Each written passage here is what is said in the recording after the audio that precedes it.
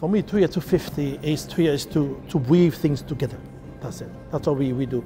We, we have to weave things together. We have lived with the French, we have lived with the English, and we're trying to bring them together, the Maori and the Maori and the Pakeha. That's what for me is to bring things together, to mesh together.